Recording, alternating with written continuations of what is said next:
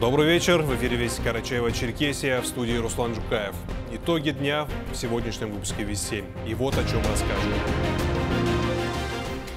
Глава Рашид Тимрезов принял участие в заседании правительственной комиссии России по региональному развитию. Какие вопросы обсудили на этот раз? Республиканская столица продолжает преображаться. Реализация какой программы позволяет благоустраивать общественные территории Черкеска? Подвели итоги работы за минувший год, провели торжественное мероприятие в Управлении Федерального казначейства по Карачаево-Черкесии. Юные мастера художественного слова со всей республики собрались в Карачаевске. Сегодня стартовал фестиваль-конкурс «Игра и театр».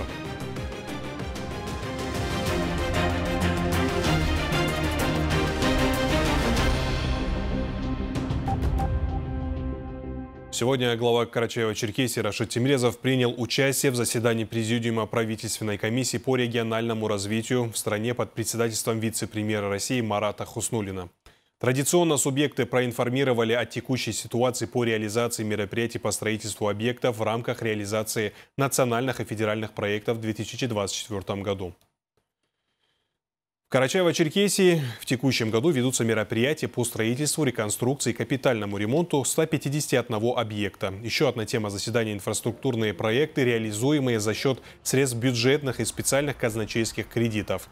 В рамках данного инструмента поддержки в Карачаево-Черкесии продолжается реализация инвестпроекта «Комплексная застройка квартала в микрорайоне «Спутник Черкес», которым предусмотрено строительство сетей водоотведения общей протяженностью более трех километров, а также приобретены 19 единиц автобусов, которые готовятся выйти на маршрут.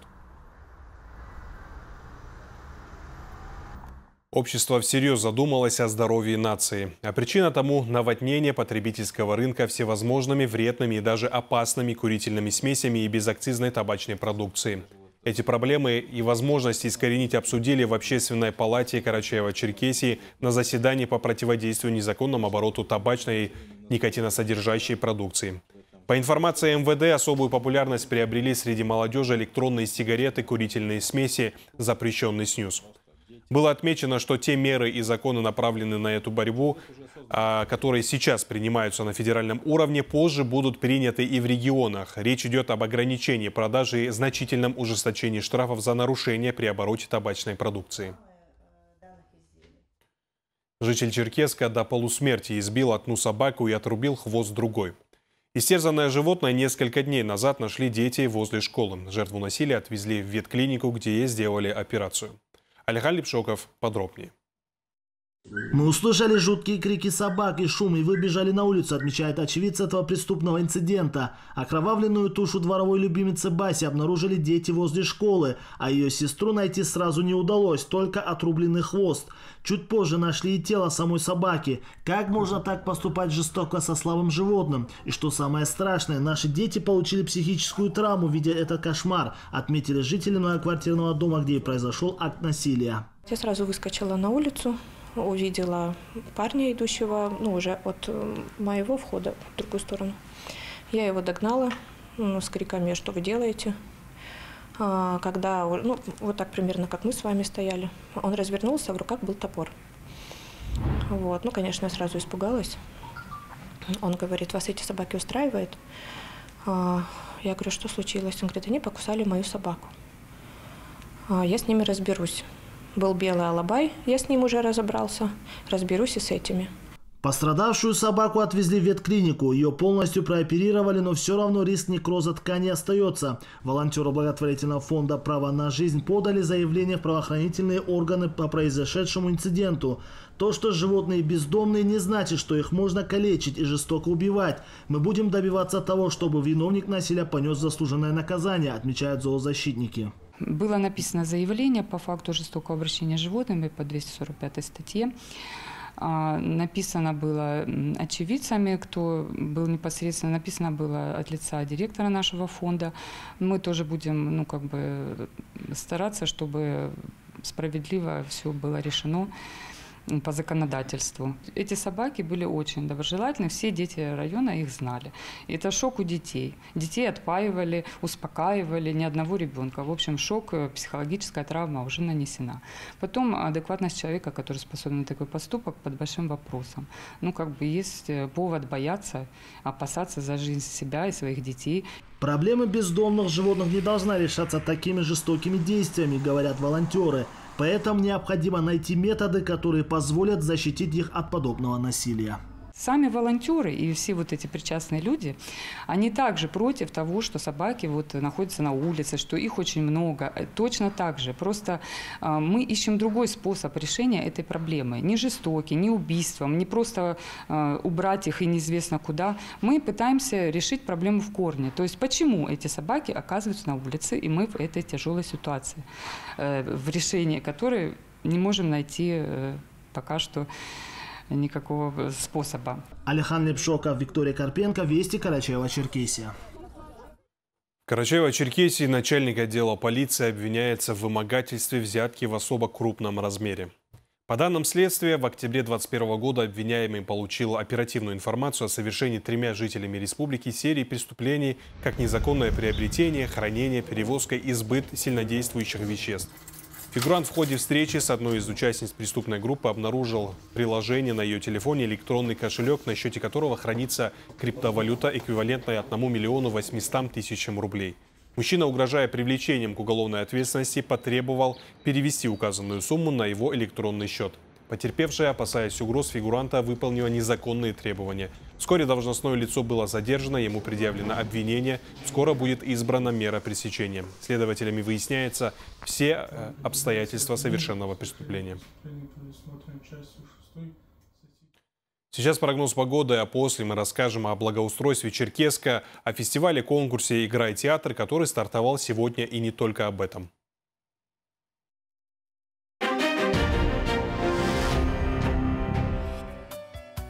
Карачаево-Черкесии местами кратковременный дождь и гроза, ветер восточный 5-10 метров в секунду, порывы будут до 11-14. Температура ночью 4-9, в горах минус 1 плюс 4, днем 19-24 выше нуля и местами до плюс 16. В Черкеске без существенных осадков ветер восточный 5-10 метров в секунду, порывы до 14. Температура ночью 7-9, днем 22-24 градусов тепла.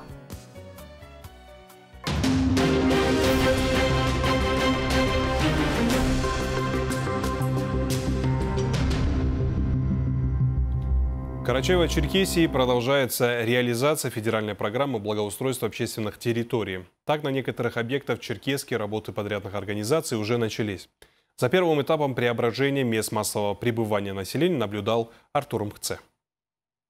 Так, в конце года будет выглядеть территория в центре Черкеска по улице Красноармейской. Проект благоустройства одного из наиболее посещаемых мест в региональной столице поддержали на всех уровнях. И теперь аллею ожидает кардинальное преображение. На данном участке у нас планируется э, выполнение работ по ремонту прогулочной зоны порядка 400 метров. Будет также э, восстановлено и уложено новое плиточное покрытие порядка 4,5 тысячи квадратных метров. Также будут проведены работы по озеленению и установлены урны и лавочки новые. Кроме того, на аллее между улицами Кооперативной и Кавказской проектом предусмотрена установка 250 фонарей. По словам представителей подрядной организации, здесь установят три зоны отдыха и площадку с тренажерами. Большое внимание будет уделено и маломобильным гражданам. Все объекты сделают доступными для различных категорий населения. Еще одна популярная у жителей Черкесской территория – фонтанная зона перед городской администрацией. Здесь тоже запланирован довольно большой объем работ. Сооружение было установлено в 2010 году и, по словам представителя городского управления ЖКХ, давно нуждалась в обновлении. По смете, значит, это у нас замена а, канализации, замена водоподводящих путей, ремонт насосной системы, а, ремонт освещения, замена плиточного покрытия. То есть, ну, приведем в соответствие. Тем более было много нареканий со стороны как бы, граждан города. Тут место такое популярное, особенно в летнее время, детей много. То есть все это приведено в надлежащее состояние. По договору, а, значит, завершение работ у нас 20 августа. Это лишь часть объектов, которые будут благоустроены в региональной столице в нынешнем году. Артур Мхце, Ренат Муков, Вести, Карачаево-Черкесия. Сегодня в управлении Федерального казначейства по Карачаево-Черкесии подвели итоги работы за минувший год и провели торжественное мероприятие, посвященное Году семьи. Руководитель управления Юрий Дотаев рассказал о обеспечении казначейского обслуживания, исполнении республиканского бюджета и бюджета муниципалитетов. Он отметил, что по данным Департамента проектной деятельности правительства России, Карачаево-Черкесия заняла 11 место среди субъектов страны по кассовому исполнению федерального бюджета по итогам прошлого года. Было отмечено, управление не осталось э, в стороне и оказывает посильную помощь военнослужащим, участвующим в зоне СВО. Приятным событием для казначеев и членов их семей стало награждение ведомственными орденами, почетными грамотами, ценными подарками и букетами цветов. В мероприятии приняли участие представители федерального казначейства и региональных властей.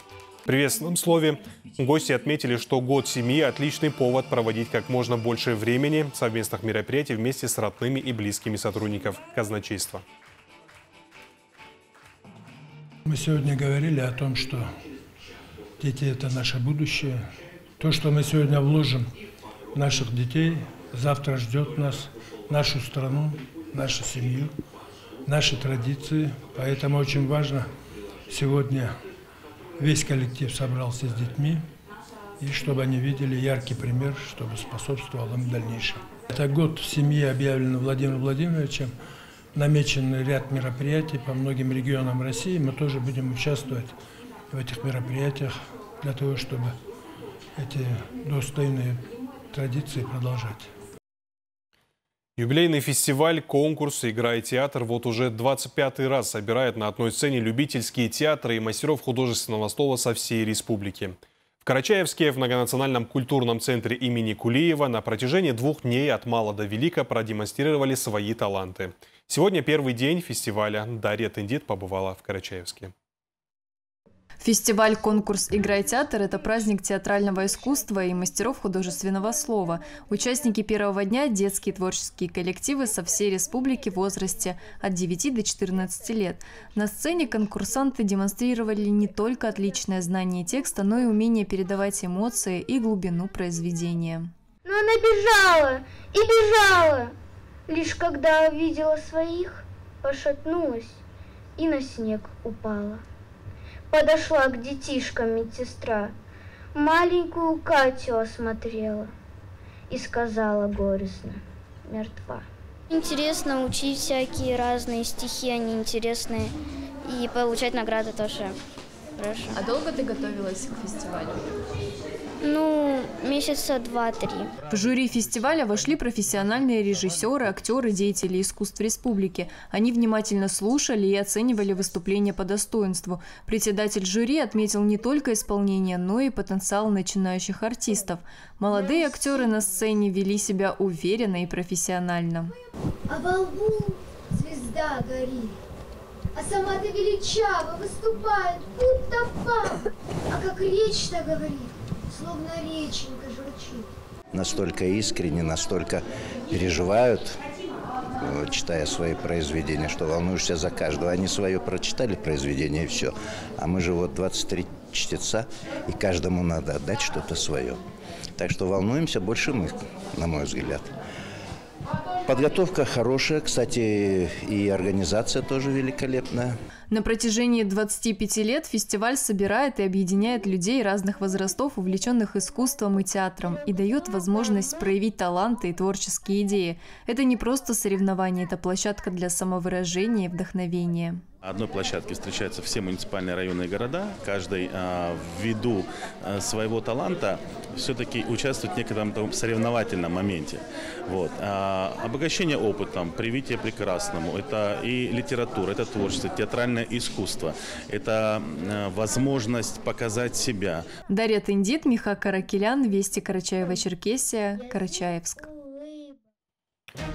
И это все ведь на сегодня. Прямо сейчас смотрите продолжение сериала «Алла Такси». Всего доброго и до встречи в эфире.